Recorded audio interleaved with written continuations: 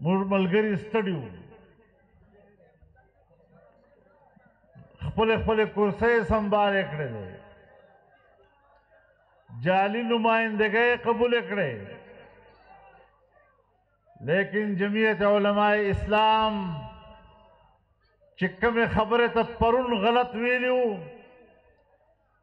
هغه خبره ته نن هم غلط ویل موږ نن هم په میدان ولاړ یو. غلط ته غلط وایو. پرون مې هم غلط نو منلی. نن هم غلط نه منم. بیا به هم غلط نه منم. او ما کارکون به انشاءالله نه ستړی کېږي ځکه چې هغه سره د نبی علیه الصلاة والسلام دا تعلیم موجود ده. الجهاد ماض الى یوم القیامه دا ستړیا خو به تر قیامته پورې وي او موږ به د دین نه را مسلسل لګوو په میدان کې به ګرځو تکبیر سبیل اللہ سبیل اللہ! سبیل اللہ سبیل اللہ!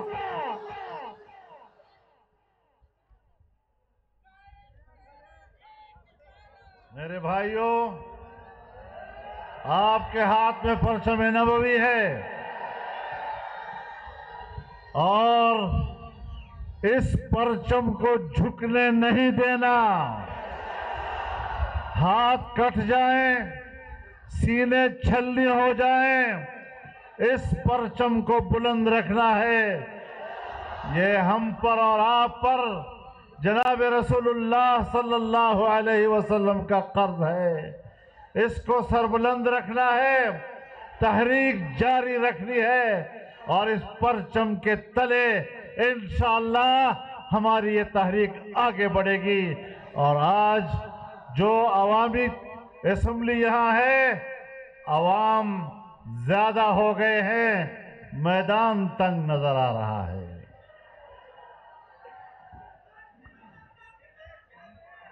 بلوچستان کی سرزمین سے اب یہ تحریک اٹھی ہے۔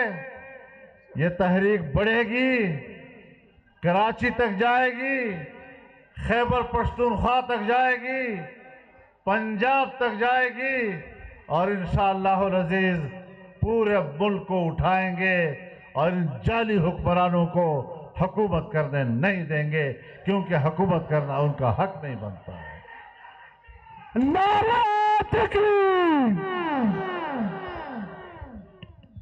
میں یہ بھی واضح کر دینا چاہتا ہوں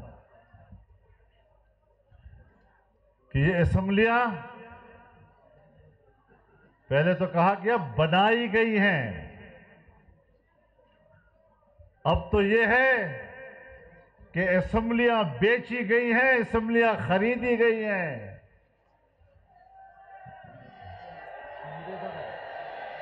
یہ بتاؤ بلوچستان اسمبلی کتنے پہ خریدی گئی؟ کتنے ارب؟ ایک ارب اور دو ارب کی بات نہیں کر رہا۔ پانچ ارب اور دس ارب کی بات نہیں کر رہا۔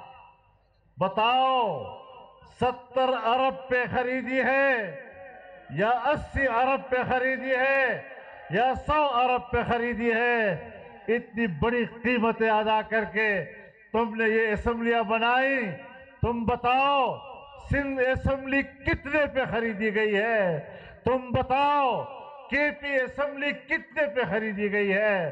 تم بتاؤ جمعیت علماء اسلام کو شکست دینے کے لیے اسٹیبلشمنٹ نے کتنا پیسہ سیاستدانوں سے لیا ہے؟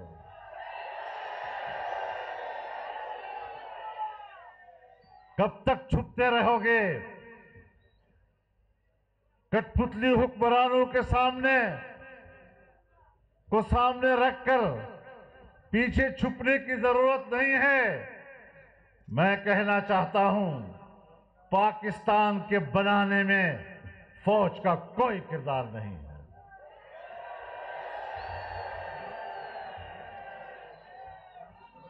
میں کوئی بڑی بات نہیں کہہ رہا، اور اگر بڑی بات لگتی ہے تو اللہ پر اعتماد کر کے کہہ رہا ہوں کہ پاکستان میں آج اگر کچھ بھی امن ہے، ملک قائم ہے، ادارے قائم ہیں، اس میں فوج کا کردار کم اور جمعیت علماء اسلام کا کردار زیادہ ہے۔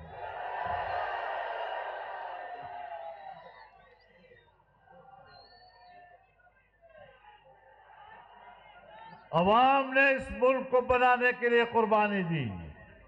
عوام نے اس ملک کو بچانے کے لیے قربانی دی۔ علماء کرام نے قربانیاں دی۔ دینی مدارس نے قربانیاں دی۔ آج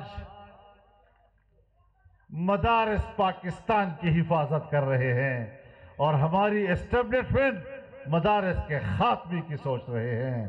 یاد رکھو، جب جنگ چھڑے گی تو پھر مستقبل اپنے بارے میں سوچو کہ تم رہو گے یا نہیں رہو گے۔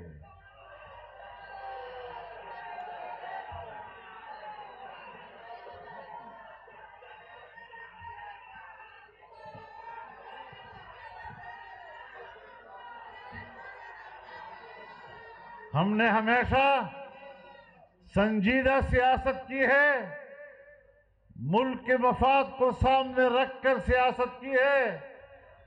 اندرونی طور پر بھی ملک کو مستحکم کرنے کا کردار ادا کیا ہے۔ بیرونی طور پر بھی ملک کو مستحکم کرنے کا کردار ادا کیا ہے۔ لیکن اگر تم آئین کو اپنے بوٹوں کی طرح رونتے رہو گے، اگر تم جمہوریت کو اپنے بوٹوں تلے رونتے رہو گے، اگر تم اسمبلیوں کو اپنے گھروں کی لونڈی سمجھتے رہو گے۔ تو پھر آج ہم میدان میں کھڑے ہیں۔ کل یہ سامنے کا پہاڑ بھی ہمارا انتظار کر رہا ہے۔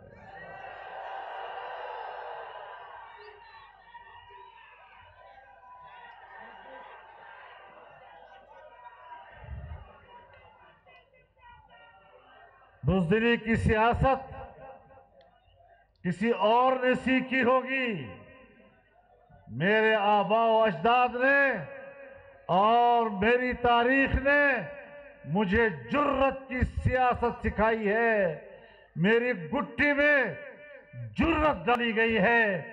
میں بزدلی پر لانت بھیجتا ہوں۔ المسلم لیس بجبان، مسلمان کبھی بزدل نہیں ہوا کرتا۔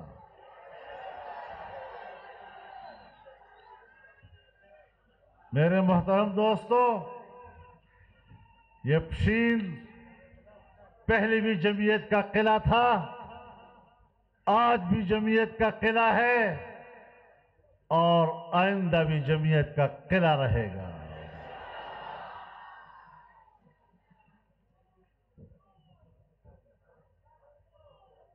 تو آئے چتادا دو سٹان پر سو گٹل۔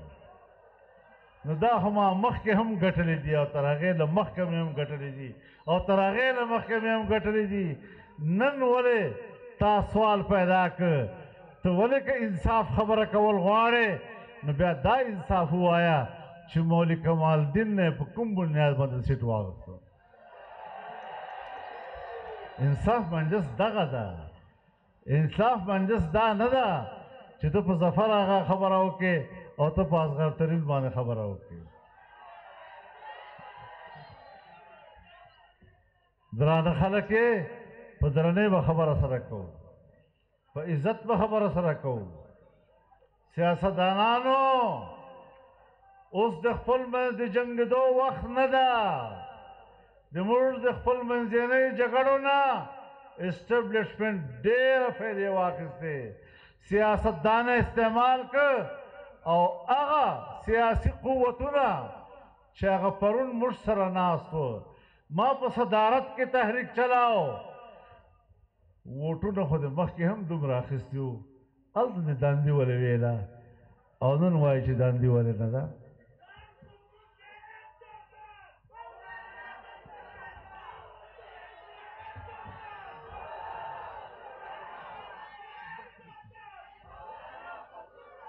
دغه نتیجه تا ته پرون په لاس درغله الته دان لیوا نن چې کرسۍ درته حواله کړه نو هغه ووټ و ایماندار ووټ سه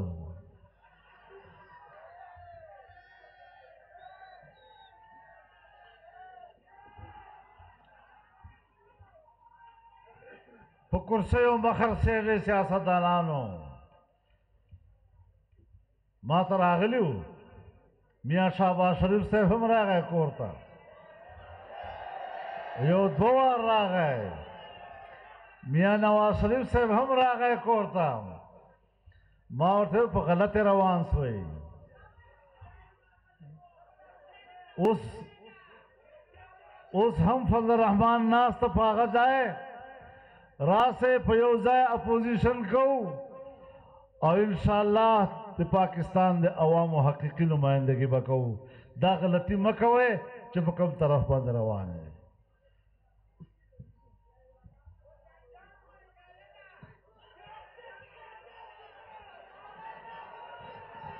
دا څه نه ده.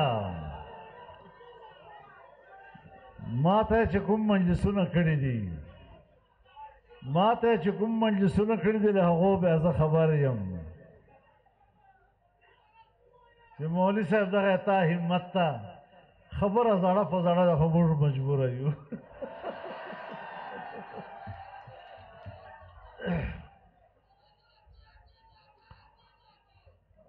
نو ما محترم ورونو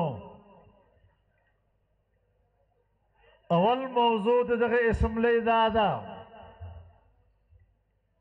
چې د 8 فروری 2024 الیکشن دغه نتایج موږ نه تسلیمو او راسې لاس پورته کې قرارداد پاس کړي چې د 8 فروری الیکشن د پشن عوامو د بلوچستان عوامو مسترد کر، بلوچستان کے عوام آج اس جلسے میں ایک قرارداد کے ذریعے آٹھ فروری دو ہزار چوبیس کے انتخابی نتائج کو مسترد کرتے ہیں۔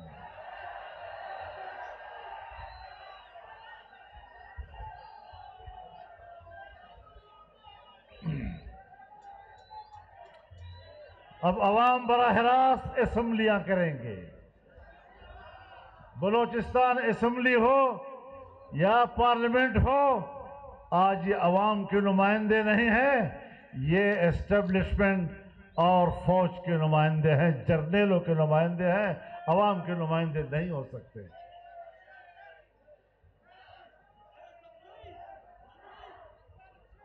مجرم کو اب مجرم کہنا پڑے گا۔ مجرم کو بے نقاب کرنا پڑے گا۔ اور انشاءاللہ العزیز، ہم نے جو بات کی ہے، وہ ڈنکے کی چوٹ کی ہے۔ مصلحتوں کا شکار ہو کر بات نہیں کی۔ میرے محترم دوستو، پاکستان پچہتر سال گزر گئے۔ ہم نے پون صدی گزار دی۔ پون صدی کی اس تاریخ میں اگر ہم دیکھتے ہیں کہ پاکستان اسلام کے لیے بنا تو اسلام نظر نہیں آتا۔ ملک کو ایک سیکولر سٹیٹ بنایا جا رہا ہے۔ ملک کو ایک غیر محفوظ ریاست بنایا جا رہا ہے۔ ملک کو غلط پالیسیوں کے نتیجے میں بد امنی کی طرف دھکیلا جا رہا ہے۔ اور اگر ہم نے یہ ملک جمہوریت کے لیے حاصل کیا تھا، تو پچہتر سال میں ہمیں جمہوریت نظر نہیں آ رہی ہے۔ اگر ہم نے یہ ملک معاشی خوشحالی کے لیے حاصل کیا تھا، تو پچہتر سال سے ہماری معیشت آج کہاں کھڑی ہے؟ کوئی تصور بھی نہیں کر سکتا تھا، جہاں آج ہم پسماندگی کی حالت میں کھڑے ہیں، جس ملک کو اسلام کے لیے حاصل کیا گیا، جس ملک کو جمہوریت کے لیے حاصل کیا گیا، جس ملک کو خوشحال معیشت کے لیے حاصل کیا گیا پچہتر سال میں یہ تینوں مقاصد حاصل نہیں ہو سکے۔ کس کے ہاتھوں منہ تو کالا کیا جاتا ہے سیاست دانوں کا، لیکن ان تینوں مقاصد میں راستے میں رکاوٹ ہمیشہ پاکستان کے اسٹیبلشمنٹ رہی ہے اور یہی پاکستان کے انحطاط کے ذمہ دار ہیں۔ یہ سر اپنی عیاشیاں جانتے ہیں۔ یہ صرف نظام پر اپنا کنٹرول چاہتے ہیں۔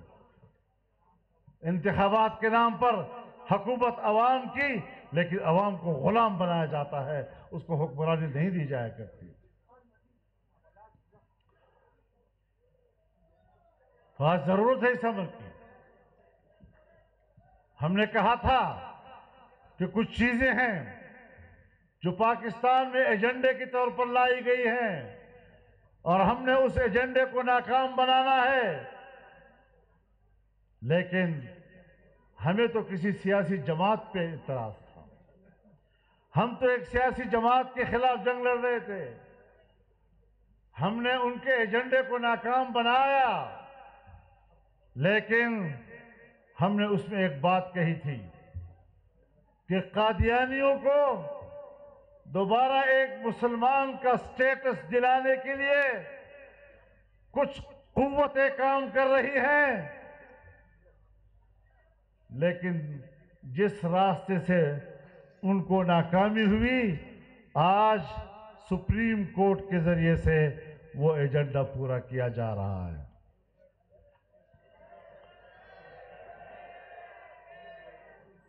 بدقسمتی سے سپریم کورٹ کا چیف جسٹس وہ آپ کے پشین کا رہنے والا ہے۔ یاد رکھیں، ہمارے ہاں قومیت صرف دین کی بنیاد پر ہے۔ نہ بلوچ، نہ پٹھان۔ مسلمان مسلمان۔ رسول اللہ صلی اللہ علیہ وسلم نے مکے کی برادری کو چھوڑا یا نہیں اسلام کے لیے؟ میں جناب چیف جسٹس فائز عیسیٰ صاحب کو بڑے احترام کے ساتھ اس کے اپنے شہر سے پکارنا چاہتا ہوں کہ آپ نے قادیانیوں کو جو رعایتیں دینے والا فیصلہ کیا ہے، آپ کو علماء کرام نے کہہ دیا کہ آپ کا فیصلہ قرآن و سنت کے خلاف ہے، آپ کا فیصلہ ختم نبوت کے عقیدے کو نقصان پہنچانے کا سبب ہے، آپ کا فیصلہ قادیانیوں کو ریلیف دینے کا فیصلہ ہے۔ اور ان کا متفقہ جواب بھی آ گیا ہے۔ لیکن جب آپ کی نیت ٹھیک نہ ہو، تو ان لوگوں سے اب فتوے پوچھ رہا ہے، جن کے فتووں پر ہمیں کبھی اعتماد نہیں رہا۔ میں چین کے لوگوں کے سامنے ایک بات کہنا چاہتا ہوں، اور آپ میری تائید کریں۔ میں ڈیرہ اسماعیل خان سے آیا ہوں، لیکن ختم نبوت کا مسئلہ آئے گا۔ تو مجھے پشین کا تصور کرو اور فائز عیسیٰ کا پشین سے کوئی تعلق نہیں ہوگا۔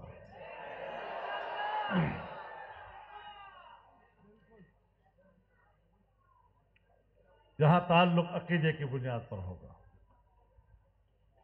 میرے محترم دوستو، آج دنیا میں ایک فساد بچا ہوا ہے۔ امریکہ، ساری دنیا میں جمہوریت کی بات کرتا ہے، لیکن پاکستان میں ہماری اسٹیبلشمنٹ کو جمہوریت کے قتل کی اجازت دیتا ہے۔ ہمارے ملک میں مارشل لاؤں کو سپورٹ کرتا ہے۔ ساری دنیا میں وہ انسانی حقوق کی بات کرتا ہے، لیکن افغانستان میں اترتا ہے۔ بیس سال تک افغانوں کا قتل عام کرتا ہے۔ اور وہاں پر جب امریکہ کے خلاف جنگ شروع ہوتی ہے، تو ایک جرنیل اپنے مسلمان بھائی کے مقابلے میں امریکہ کا اتحادی بن جاتا ہے۔ یاد رکھیں، ہمارا رشتہ دنیا میں اسلام کے حوالے سے ہے۔ اسلام کے اسلام کے کوئی حدود نہیں ہوتے۔ اسلام ساری دنیا کے مسلمانوں کا مشترک ہے۔ ہم نے امریکہ کے ناجائز قبضے، اس کی جارحیت کو مسترد کرتے ہوئے افغانستان میں امارت اسلامیہ کا ساتھ دیا تھا۔ اور اگر آج بھی وہ اسلام کے عالم کو بلند کیے ہوئے ہیں ہمارا مشترک مقصد ہے ہمیں اپنے ساتھ پائیں گے۔ اس موقف پر جنرل ضیاء الحق کے زمانے جنرل، کیا نام ہے ہمارا، مشرف کے زمانے میں بھی میں کوئی پانچ چھ مہینے جیل میں رہا ہوں۔ ہم نے پرواہ نہیں کی اس بات آج آپ انسانی حقوق کی بات کرتے ہیں۔ تم نے بیس سال تک افغانوں کا قتل عام کیا، بمباریاں کی، بچوں کا قتل کیا، خواتین کا قتل کیا۔ تم نے عراق میں جارحیت کی اور جس جرم کا الزام لگا کر تم عراق میں آئے تھے، تم نے اعتراف کیا کہ ہمارا الزام غلط اس کے باوجود تم نے ابو غریب جیل میں مسلمان قیدیوں کے اوپر، زندہ مسلمان کے اوپر کتے چھوڑے اور کتوں سے ان کے گوشت کو کاٹا ہے۔ تم نے انہیں ننگا کیا۔ تم نے ان قید خانوں میں ان کے سامنے قرآن کریم کو بوٹو تلے لا تم نے ان کا غیرت کی، کا خون کیا۔ تم نے ان کے عقیدے کا خون کیا۔ حکومت خانے بنائے۔ پھر بھی تم انسانی حقوق کے علمبردار۔ کس بات پر علمبردار؟ انسانی حقوق کی علمبرداری کس بنیاد پر؟ تم نے جو لیبیا میں کیا کیا وہ انسانی حق تھا؟ میرے پاس امریکی آئے۔ مجھے کہا جی افغانستان میں انسانی حقوق کا مسئلہ ہے۔ برطانیہ والے بھی آئے کہ جی افغانستان میں بچیوں کو تعلیم کی اجازت نہیں ہے، انسانی حقوق پامال ہو رہے ہیں۔ تو میں نے کہا، یہ جو ابھی غزہ میں ہو رہا ہے، جہاں چھ ماہ کے اندر چالیس ہزار سے زیادہ فلسطینی شہید کر دیے گئے، جس میں سب سے بڑی تعداد معصوم بچوں کی ہے، اس کے بعد بڑی تعداد خواتین کی ہے، ہماری ماں اور بہنوں کی ہے، اور تم اسرائیل کی ریاستی دہشت گردی کو حمایت کر رہے ہو۔ تم ان کو اسلحہ فراہم کر رہے ہو۔ تم ان کو میزائل فراہم کر رہے ہو۔ تم ان کو لڑاکا جہاز فراہم کر رہے ہو۔ تمام امداد انسانیت کا حق ذبح کرنے والے، انسانیت کے قتل عام کرنے والے ان کو سپورٹ کر رہے ہو، کیا وہ بچیاں نہیں ہیں؟ کیا ان کو تعلیم کا حق نہیں تھا؟ کیا وہ چھوٹے بچے ان انسانی حق نہیں رکھتے؟ کیا وہاں کے بوڑھے انسانی حق نہیں رکھتے؟ کیا وہاں کی مائیں اور بہنیں انسانی حق نہیں رکھتی تمہیں شرم نہیں آتی انسانی حقوق کی بات کرتے ہو؟ تمہیں شرم نہیں آتی عورتوں کی تعلیم کی بات کرتے ہو؟ تعلیم تعلیمی ادارے تو تم نے تباہ کیے۔ انسانیت کا قتل عام تو آپ نے کیا۔ اور آج پاکستان میں اگر جمہوریت کا قتل ہو رہا ہے، اس کی سرپرستی بھی تو آپ ہی کر رہے ہیں۔ کس چیز کی جمہوریت ہے؟ تو میرے محترم دوستو جب الیکشن گزرا تو ضمنی الیکشن آیا۔ جمعیت علماء اسلام نے ضمنی الیکشن کا بائیکاٹ کیا۔ ضمنی الیکشن کا بائیکاٹ کیا ہم نے۔ ایک سیٹ ایسی تھی۔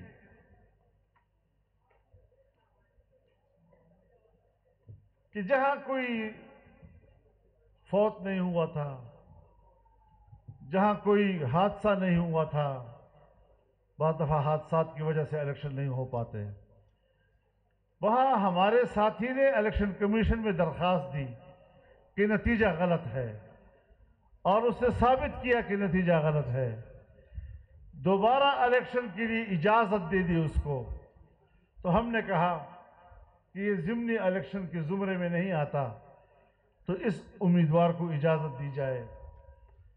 ہم نے یہاں قلعہ عبداللہ میں حاجی محمد نواز صاحب کو اجازت دے دی اور ہم نے سوچا کہ شاید اب شاید ان کو عقل آ گئی ہو، شاید وہ ابھی وہ حربے نئے استعمال کر رہے ہوں، شاید وہ دھاندلی کے حربے نئے استعمال کر رہے ہوں۔ مجھے بھی لوگوں نے کہا کہ آپ بائیکاٹ کریں گے تو ڈی آئی خان کا، آپ کا اپنا حلقہ وہ بھی رہ جائے گا۔ میں نے کہا کہ اگر اسٹیبلشمنٹ کے پیٹ میں کوئی جگہ خالی ہے تو ہمارے ایک سیٹ سے وہ جگہ بھی وہ پر کر دے، کوئی مسئلہ نہیں آج میں اعلان کرتا ہوں کہ تمہارے رویوں سے صاف نظر آ رہا ہے کہ قلعہ عبداللہ کے الیکشن میں بھی تم نے بدترین دھاندلی کرنی ہے۔ اگر دھاندلی کا الیکشن کر کے ہم نے اس کو تسلیم کرنا ہے، اس سے بہتر یہ ہے کہ آج اس جلسے میں ہم اس حلقے کے الیکشن کے بائیکاٹ کا بھی اعلان کر دیں۔ کوئی ضرورت نہیں ہے ہمیں ایسے الیکشنوں کی۔ ہم اس طرح کی کٹ پتلی پارلیمنٹوں میں جائیں۔ بخدا میں تو جانا بھی نہیں چاہتا تھا۔ لیکن پھر میں نے سوچا کہ پشین کی عوام نے مجھ پہ اعتماد کیا ہے۔ کہیں وہ یہ نہ سمجھے کہ ہمارے ووٹ کی بھی قدری ہو گئی۔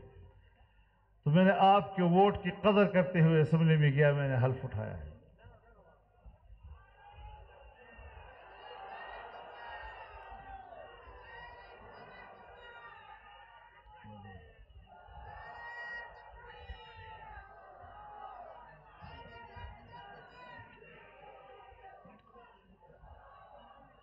میرے دوستو، انسانی حقوق پامال ہو رہے ہیں۔ آج غزہ کے مسلمان پہ کیا گزر رہی ہے؟ ان کا قتل عام ہو رہا ہے۔ اسلامی دنیا خاموش، مسلم دنیا زبانی مذمت سے آگے نہیں بڑھ رہی۔ جنگ بہت لمبی ہو گئی، بمباری لڑنے والوں پہ نہیں ہو رہی۔ اسرائیلی فوج حماس کے مجاہدین کا سامنا نہیں کر سکتے تو عوام پہ بمباری کر رہے ہیں۔ شہروں کے شہر ملبے میں بدل گئے ہیں۔ کتنے ہزار ملبوں کے نیچے پڑے ہوئے ہیں۔ چالیس ہزار سے زیادہ جنازے وہ پڑ چکے ہیں۔ آپ بتائیں کہ اس فلسطینی بھائی کا ہم پر حق ہے کہ نہیں کہ بحیثیت مسلمان ہم ان کے شانہ بشانہ کھڑے رہیں گے؟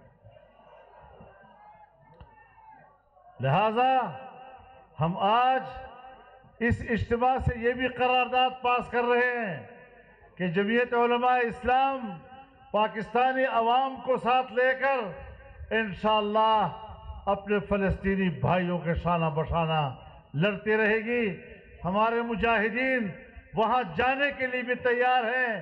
اگر بین الاقوامی راستہ ملتا ہے اور کوئی وہاں پر جانے کی اجازت دے سکتا ہے۔ اسرائیل کوئی چیز نہیں۔ وہ عربوں کی پیٹ میں گھونپا گیا خنجر ہے اور یہ خنجر ہمیں اپنے جسم سے نکالنا ہوگا۔ ورنہ ہم بحیثیت مسلمان، بحیثیت عرب کبھی بھی صحت مند زندگی نہیں گزار سکیں گے۔ تو اس پر بھی ہماری قرارداد واضح ہونی چاہیے۔